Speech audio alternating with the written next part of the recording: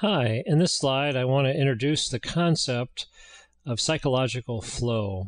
Um, first, just a, a, definition of what flow is uh, it's a mental state of operation in which we're fully immersed in a feeling of energized focus, full involvement, control, creativity, and success.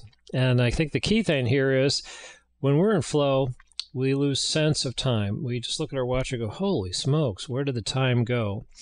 Um, and the way we get into flow is usually it's something we're intrinsically intrigued with, and we we we've got some curiosity about it. But we're controlling the dial so that the degree of complexity, how fast it's coming at us, and so forth, really uh, works for us. That's one of the reasons you find kids just getting totally hooked on on video games because in all these video games you can adjust the parameters so that you are right at your optimal uh, state of of uh, pace and complexity, etc. So you're not too stressed out, but not too bored, uh, so forth.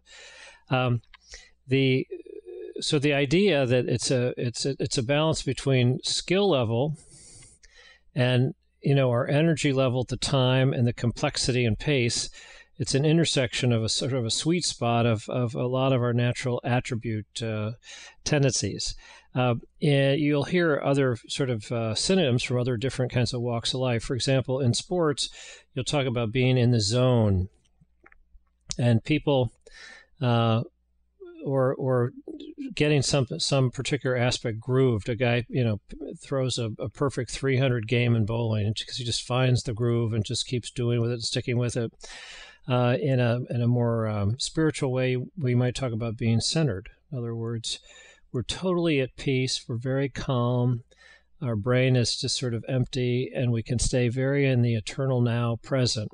Um, the uh, maybe in a more uh, artistic way, we could be on fire.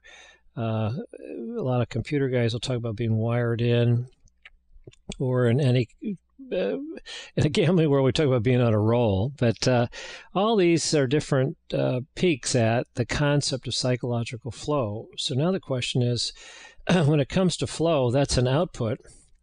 And if our brain is sort of a black box, what are the inputs? What are the things that we can consciously think about and start to control about ourselves and our environment to increase the odds we can get into flow where we're going to learn learn at an optimum speed? So that's the introduction to uh, the definition of flow. Let's look at uh, uh, take deeper dives on subsequent clips. Thank you.